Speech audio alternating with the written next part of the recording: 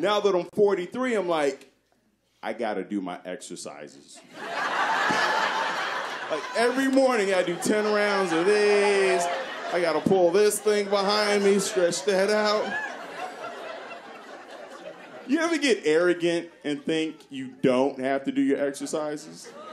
Then you reach in the back seat like, oh shit. I should have did my exercises. Cancel all my meetings. I'm just gonna lay here for three days. Like, I used to have a personal trainer, a workout buddy. Now I have a physical therapist.